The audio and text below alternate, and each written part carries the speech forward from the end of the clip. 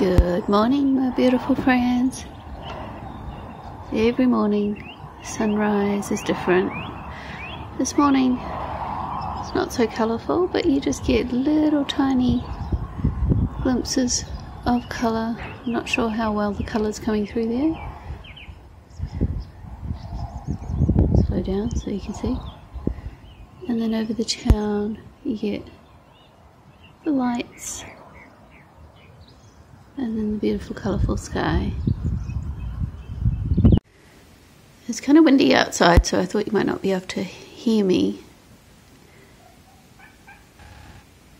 So you're looking through my living room window at the moment. There I am with my cup of tea, enjoying the sunrise. Oh, and no, you can't see the cat. It's too dark. Too dark to see the cat. but the weather's been um, pretty bad. This is one of the first mornings we've had that it's actually quite nice and it's not pouring with rain. Uh, we are in the middle of winter here. And um, so I haven't been doing much gardening, so I haven't got a garden update for you, but I have been doing lots of knitting. So I thought I would share with you my sock journey. So this morning, this view is definitely more interesting, and you can see the river. See the reflections on the river. Ah, you can see the reflections of me in the window as well. so let's get on and have a look at some of what I have been doing and can I actually make a pair of socks that fit me?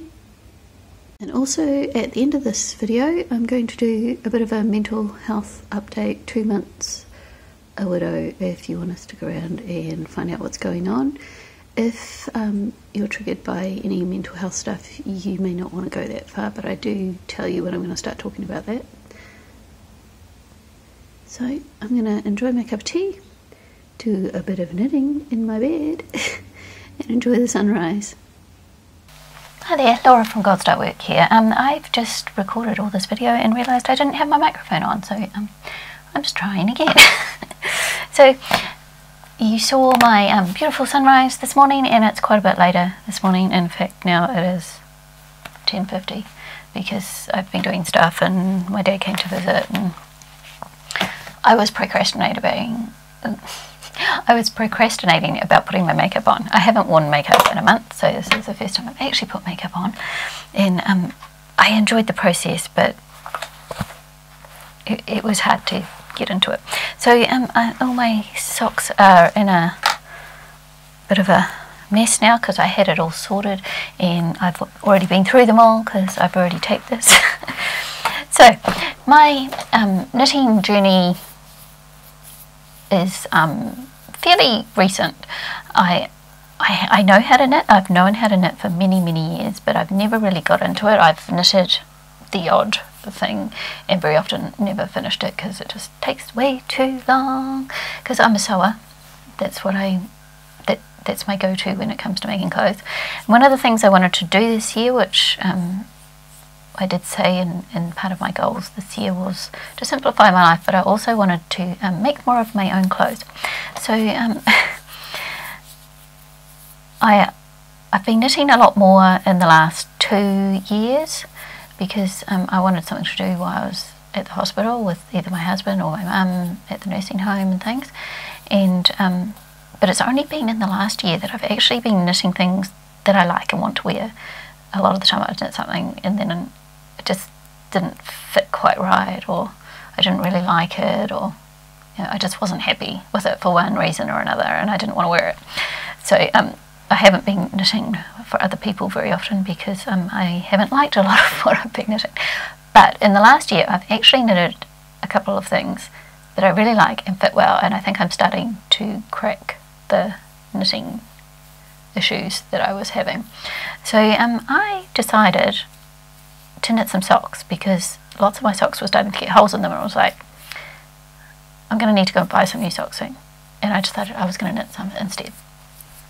I'm crazy like that sometimes. It was my, I want to make some of my clothes. And I've never knitted socks before in my life, and I'm not an expert knitter. um, I'm a beginner knitter.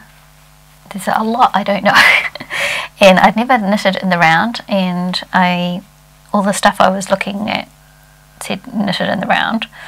So um, I had some wool left over from my yellow sparkly cardigan that I loved, and I decided to knit a sock. Now, this was about my fourth attempt at knitting a sock. I looked at YouTube videos and knitted a couple of toes toe up, but then I couldn't find all the details on how to do the um, heel or how to measure it for your foot and I probably just didn't look hard enough but I wanted a written pattern basically because it was getting too hard to figure out but I did really like the toe toe but that's not what I ended up doing. But I did I have knitted a toe toe and then I unpicked it and used the wool for, for the sock. So um, I found a book on the internet and where did I put it? It was getting started knitting socks and all these are top down. And they but they didn't use um, the magic loop or round circulars they used DPNs which are double pointed needles and I didn't want to do that. So but what they do is they go through the gauges and tell you okay a super fine fingering weight for 8 inches per 8 stitches per inch. And then 7 stitches per inch are super or sports weight fingering. So you can work out your tension and you can use the pattern that suits the tension that you are doing. So 6 inches per inch. Using fine. And mine mine is a 7 inches per inch gauge. So that um, was very helpful. And then it goes into the thicker ones as well. And it does a few twisted cable it shows you how to do some of that but um, I haven't done that yet but this is the book I used to help me and it's got details on your heel flaps on how to do different ones and you know preventing holes in the gusset and stuff like that. So um, that was that was useful to a point, but I wanted I started out with magic loop, so I want to do magic loop. So I ended up combining that with, and I got this a free pattern off the internet, and hopefully I've done the top one. So it was the School of Socks, Summer Lee Designs Co. Summer Lee Design Co. Can you probably can't see that? Uh, it's just printed off on my black and white printer. And so I didn't completely use her pattern. And I did use her, but I used her instruction, instructions on how to use Magic Loop. And I also used Roxanne Richardson on YouTube for how she does her gusset because she explains it really well and she's not so like oh you've got to have this many stitches and that she just shows you how to do it really easily and you don't have to be really fussy about how many stitches you have because you're decreasing them anyway so I've, I've used a combination of three people basically I've used the book and I've used the printout and I've used um, Roxanne Richardson's YouTube videos to help me work out how to make a sock so it's nothing like doing things the hard way so this was the first pair that I made. So there are two of them there. I don't have fancy sock blockers or anything because I'm just new. So I started three months ago making socks. So I made this pair first and I was really happy with the way they turned out until I put them on. and, and this is 100% acrylic so it's not a warm cozy sock or anything it was just wool I had left over or yarn I had left over I should say. So um, I my my gusset stitches are different, like the heel flap stitches are different on each one because I think the first one I got wrong and the second one I got right. And But when I put it on, um, it's too short here. I didn't make it long enough. I thought I'd measured my toe the way it was supposed to be, but it didn't work. So obviously I did something wrong there. So then I decided to make another pair of socks. And I suppose I should show you the wool I used. So for my yellow pair, I just used a Wendy Peter Pan double knit in Moondust. It's really, really pretty. It's got sparkles in it. I don't know whether you can, is the sparkles showing up? I can't tell.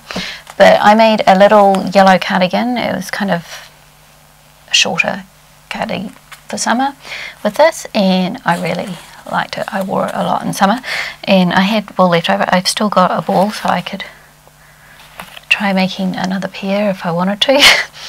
and um, it was a learning experience. That's that's what that was. That was my learning pair, figuring out how to do it. It didn't fit me, but oh well, kind of thing.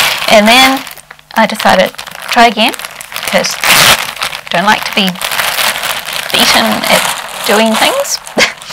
And so I bought this at my local wool shop because I like to buy local as much as I can. We have two small shops in um, our little town that sell wool, and so I want to support them. And one of them has actually recently changed ends and started actually selling sock wool. This this isn't typically soft. Doesn't have to be sock wool, but that's what was, they were advertising it. And it's Gallipoli, four ply, and it's 75% wool, 25% polyamide, machine washable. So got that, and um, I wanted to try and match up how it's striped. So I got two balls, and I um, unwound one ball until I got the same colour striping on both. And um, so this was the second pair of socks I made.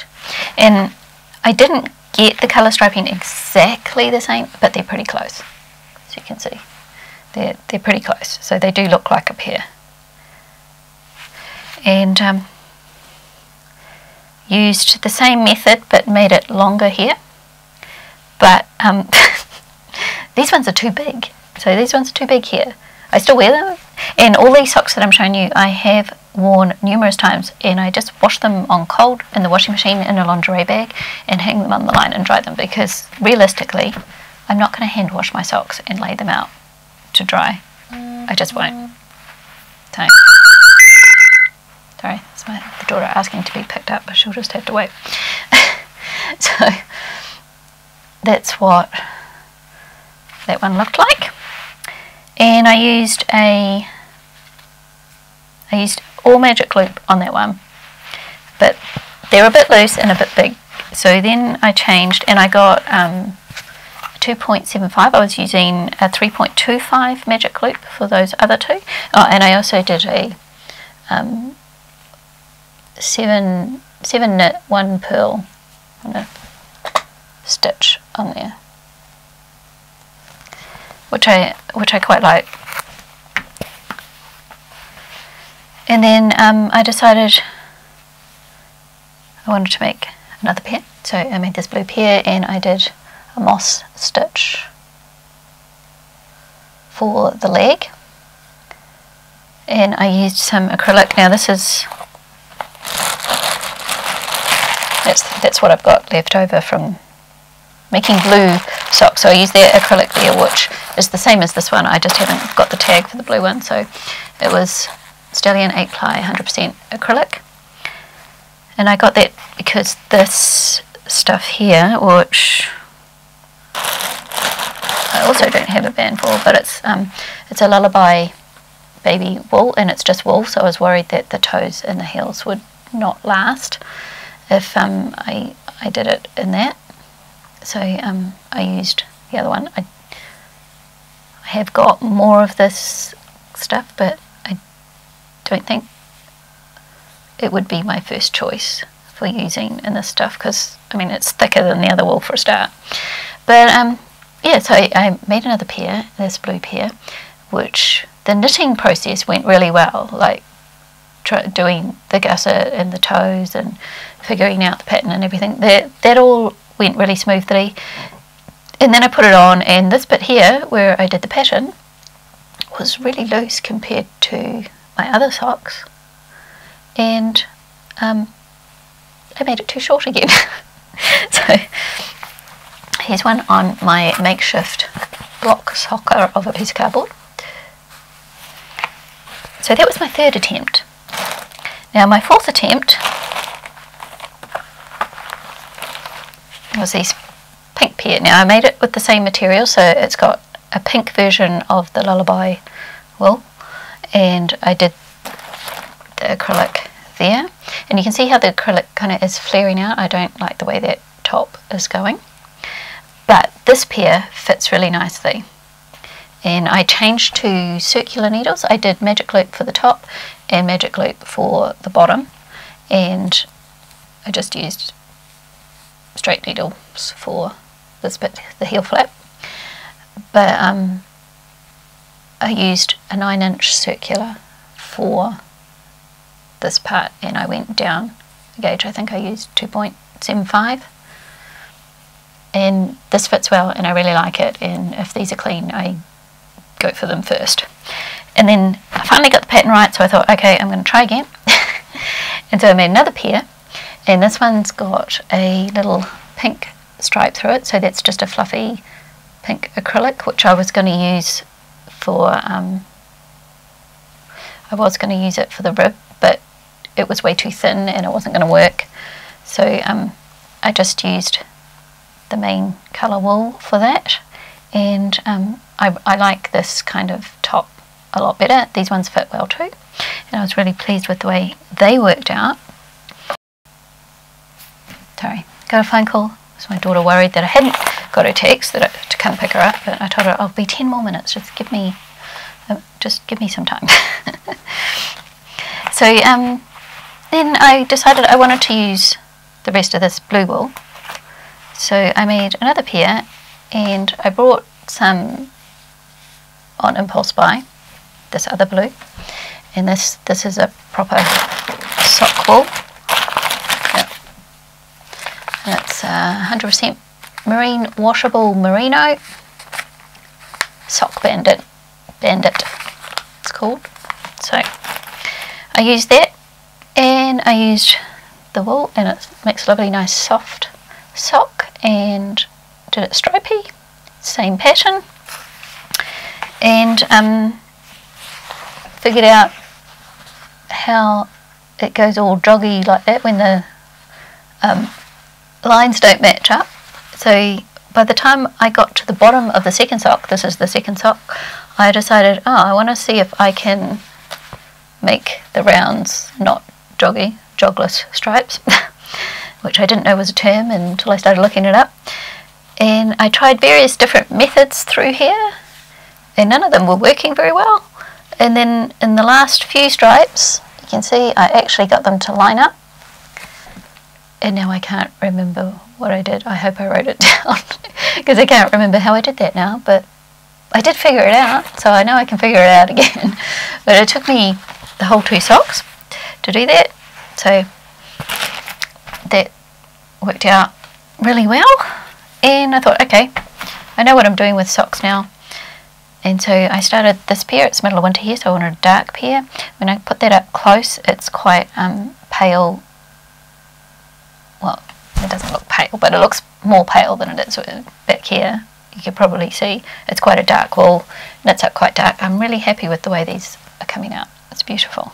I haven't got the tag for this one, so when I've finished the sock, I'll show you. I'll have to do it. But it's quite a thin wool. It, it, it knits up quite delicate feeling. So for the heel gusset and the heel turn, I actually doubled the wool there to make it a bit thicker and sturdier. But I decided for the next pair, when I've finished this pair, I want to make um, toe up because I really liked the toe that I practiced when I very first started my sock journey. And also doing the gusset and that is a bit of a it's always the bit that puts me off because you have to pick up stitches and that and it's, it's not that hard but it's just annoying and I saw on YouTube a few people doing the German short rows on a heel toe toe up and there was no gusset or you know, no stitches to pick up or anything. So that's going to be my next journey. Now, um, yeah, so that'll be my next sock journey. I have got some other things on the go, which I can show you at another time. And um, I'm to stop talking about socks here. And I just want to do a quick update. I said I was going to do um, two months a widow thing. I don't want to make it a whole separate video. I haven't got that much to say. but um, some of this could be a bit triggering. So if, if you're sensitive to things, mental health stuff and that, then you may not want to watch this bit. So, um, second month, I did a one month widow. Second month was very up and down. So I, I started the second month and thought, yeah, I'm not doing that great. And um, I went back on antidepressants. I'd been off antidepressants for about four months before Paul died, and because um, I'd been on them a long time, dealing with him being sick in there, and I decided I was doing quite well mentally, and I'd go off them, and I was doing well until you know about one month, and after he died, and then I was like, oh, I might need a little bit of help to you know make sure I can get out of bed and do all that kind of stuff. And um, so I went back on my antidepressants, the same dose, same brand, same everything, and it did not go well at all. I was on them for two weeks, and I just got worse and worse, and just there was absolutely no joy in my life at all. There was, I'd open the curtains and see the nice sunrise and go, oh whatever. And I was just in despair. I was starting to worry myself. I was starting to see why people would commit suicide and that I was just not in a good place at all. And I was shutting myself down and I wasn't doing anything apart from knitting. and I just nothing seemed worth it. Think I'm triggering myself now. So um, then I forgot to take it one day. And then in the evening I felt so much better. And I was like, okay, this is interesting. And I stopped taking it and I've been so much better since I have stopped taking it. Yes, I am still sad and I still cry and but I still find joy and satisfaction in things like I can open the curtains and see a sun, nice sunrise like this morning and go, oh, that's really pretty. Or, you know, I can finish a sock and do a job well done and think, oh, yay, I learned something and this, this worked, instead of just being totally shut down, no good emotions at all. So um, I was really glad that I forgot to take it. and it's taken me a couple of weeks to kind of get back on track. I feel like now I'm just starting to get back on track and starting to heal again rather than just trying to get over feeling completely destroyed. so, um, yeah, so, you know, word of caution if you go on antidepressants and you feel worse, maybe you shouldn't be taking them. so, uh, at the moment, I'm not on anything. I just feel like I need to work through the process naturally now. Um, not always sleeping well, but um, yeah, some nights better than others. And if I've been busy and productive during the day, then I'm probably likely to sleep better. Um, I had, had an interesting development just after Paul died, is that my hair was falling out from stress. And I think it's just about stopped, but this is how thin it is. Like if I put it in a ponytail, there's just there's nothing there. but it is growing back. I can feel it little bits growing back now, so it really feels weird on my head. But yeah, my I would just go like this, and I'd have here like this one there. But there was just it was coming out like crazy because of just mental stress. My my whole body was stressed out. so um, I wasn't expecting that, but yeah, that's something to look out for when you get really stressed. I know um, if you go on a diet or anything, it stresses your body and your hair can fall out, but um, I wasn't expecting it for emotional stress. So it is growing back though. It's just really thin at the ends. At some point, I'll probably have to cut them off, but I'm not ready to do that yet. so um, that is my update, and now I have to go and pick up my daughter because otherwise she's going to start complaining that I took too long, and I told her I'd only be 10 minutes, and I'm sure I've been longer than that already. so it was really good to see you, and um, I hope that you don't mind that I'm not doing makeup at the moment. I, I put my makeup on to, today, and it's the first time I've put it on in a month. I can't remember if I mentioned that at the beginning or not, since it's the second time I did it. But I just wanted to show you what I have been up to, which is knitting. I have been knitting some other things apart from socks, but um, I think I'll show those in a different video and see how we go. So you all have a good day, and thanks for watching, and I'll see you next time. Bye.